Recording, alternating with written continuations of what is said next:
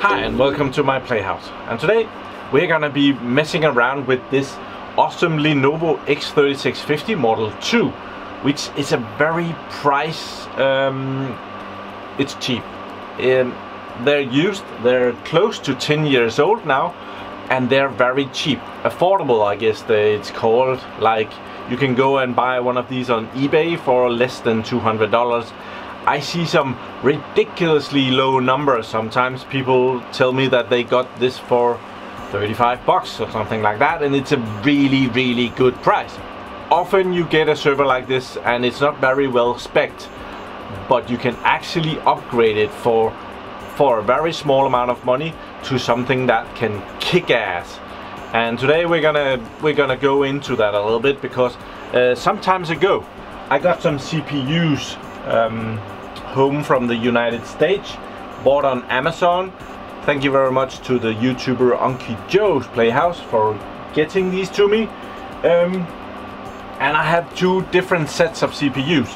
The X3650 Model 2 should only be able to handle a, like the CPU should not produce more than 95 watts of heat power. So the idea is that the server can use the CPUs up to a TDP of 95. So there's a range of CPUs that is under 95 watts and they should be all okay. But um, but would it do more than that? I got the top CPU home for it and that one is the 5690 and that one has a TDP of 130 watts so I think we should just try that see what happens um, it might fail. It might complain that, ooh, this is way too much. You should not do that. Kind of, as long as it's just complaining, it's not a big deal, is it? As long as it works. But otherwise, I have the the fastest CPU with a TDP of 95 watts as well. That one is the Intel Xeon 5675, which is a 6 core 3.06 gigahertz. Um, we'll see that. I can't remember. So uh, let's see what we have in the server now. So here we have Cinebench and I have just run this.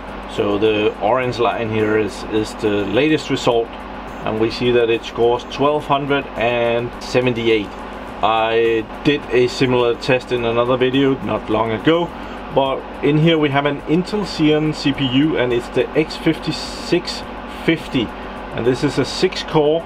There are two of those so combined that's 12 cores 24 threads and they are running at 2.67 gigahertz. Awesome. And it sees this as a server 2012 it is a server 2016 but never mind um, so that's what we are up against. And down here I have the CPUs that we're gonna be testing. This one is the 5675 and over here in plastic um, I have the very shy. And this one is the 5690 yeah you can see that. And I have two of each so we're gonna be able to test that very nicely. So let's shut down the server and try and put in these two 5690s and see if that will work. I am expecting that to fail or be problematic and then we're gonna switch over and put in these 5675s. So here we have the server open, the Lenovo X3650 Model 2. I have a little bit of maintenance here because this server has some extra PCI ports in here that I don't think is well they are not necessary here. So we're gonna take some of those out because they are using power in the server for no reason at all. This one has some extra network cards. Um, these are just I think they're Intel yeah they're Intel network cards. Uh, two ports of one gigabit so we're gonna get rid of those. Um, no reason to have them there and in the other riser card over here we have a couple of fiber optic HBAs. So we're gonna get rid of those as well. These are 4 gigabits um, fiber optic HBAs. And as the server is powered up, all of these cards are also powered up and they are consuming power.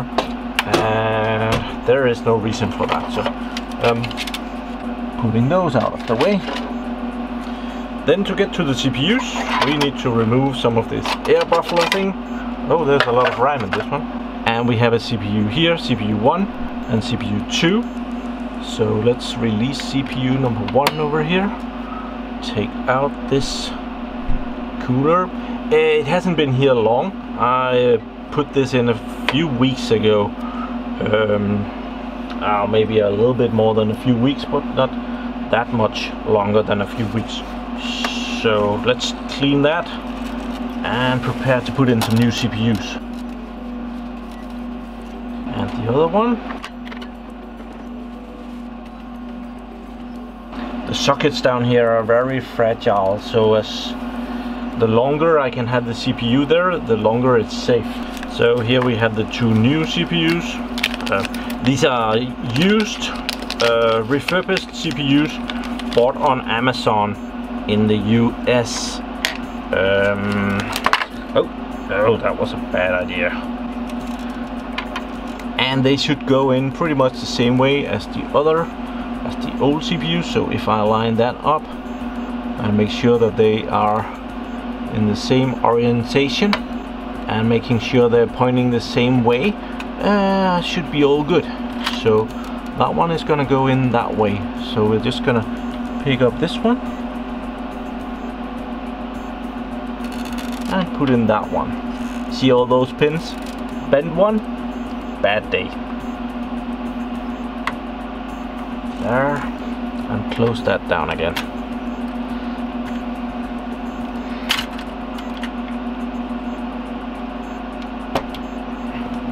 Same thing over here. Release.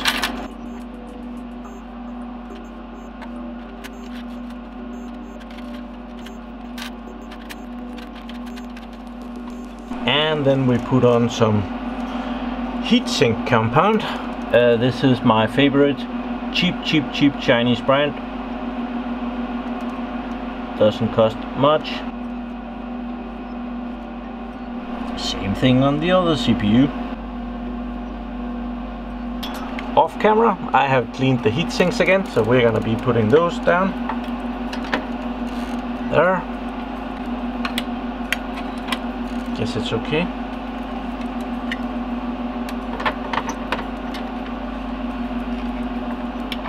There. So I'll put everything back together and we'll see what happens.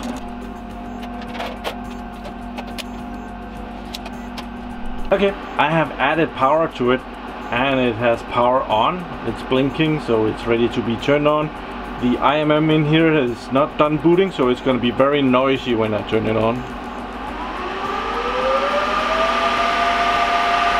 as long as the management adapter in there hasn't um, checked out everything like what's the temperature how is the sensors how is this and that and well it it kind of to be sure it blows the fans a lot harder than it really needs to so um, yeah that's what it's doing right now so um, let's see the screen over here if anything pops up Nothing yet.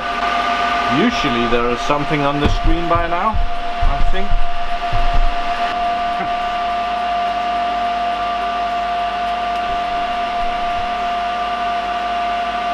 I'll go check and see if I've got the display cable in there right.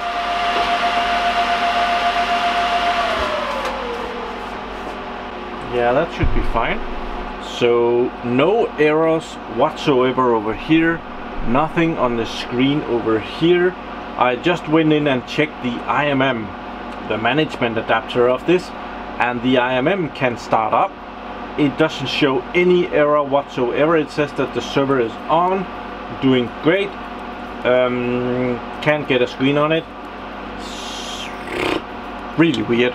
Um, but I'm gonna assume that the CPUs are just out of spec and it's not to be able to run with them. And we're just to try and put in the 256-75s and see if that isn't the issue. I could of course have gotten two broken CPUs, that is an option. Okay, so that didn't work at all. So we are replacing the CPUs and now we're going to be putting in these 5675 and these has a TDP of 95 watts. And this has to also be put in the right way. Otherwise uh, we will um, also have a bad day. What that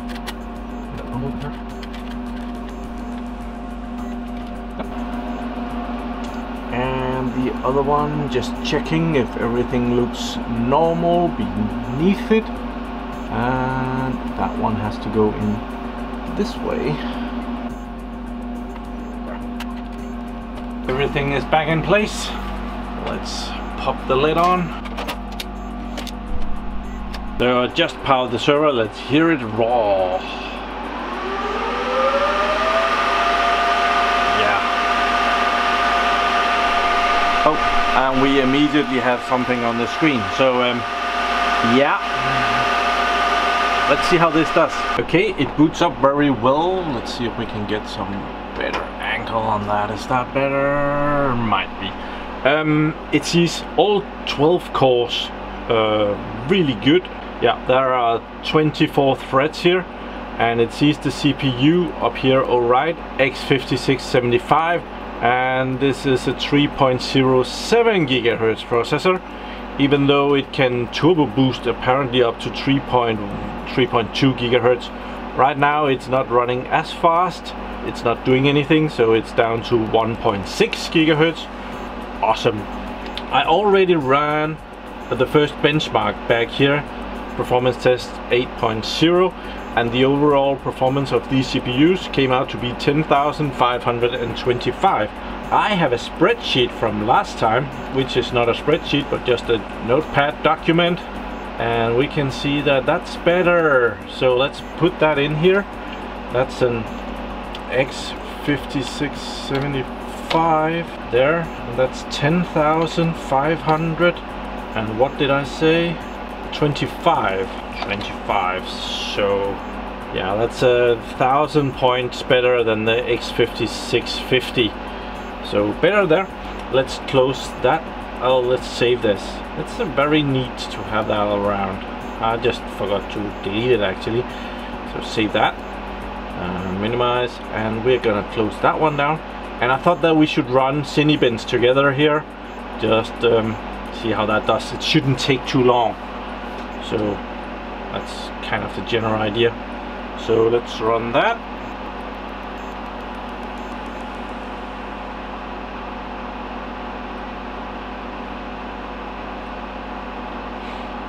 And we have the old results over here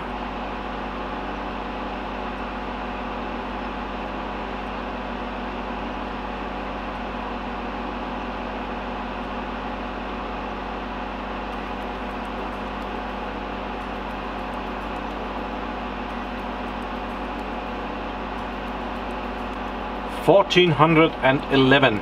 Awesome. Okay, so we saw what happened if we put in a CPU in the otherwise awesome Lenovo X3650 Model 2. It um, looks like it's running, but it doesn't show anything on the screen and it does not complain in the IMM, it just doesn't boot-ish. And that's a bit weird. It really should pop up and tell you that the CPU is outside of specs or something, but probably it can't because it's not able to power that CPU but the 5675 works really well in here. I just did a bit of math over here and the benchmark, the first benchmark, Passmark, compared to the CPU that this server was born with, which was two E5530s, which is not 30s, yeah, 30s, which were four cores, uh, 2.4 gigahertz. Well, in, in Passmark it does 144% better. So if the E55 30s uh, are at 100%, well the X5675s are at 144%, so it's kind of, you get 44% extra there. In Cinebench the difference is bigger, with the E5530 we saw 727 with the X5675 we just got 1411 that's a um, 94% improvement so it's almost double up on um, Cinebench in an upcoming video we're gonna be trying those two 5690s in a Model 3 down here that one should be able to run those and we will see if if it's a bad CPU. I doubt it. I think that the M2 is just not able to handle that CPU. Thank you very much for watching my videos. I do hope you enjoy this. Now you don't have to do this. You can go right out and order the 5675 instead of having to spend money uh, on a 5690 in the hopes of it working. It's probably not. Best estimate is that you will end up with the same result as me so go with the 5675 and you should be all good. So um, do subscribe to my channel so that you can see me again and have a really nice day. Bye bye!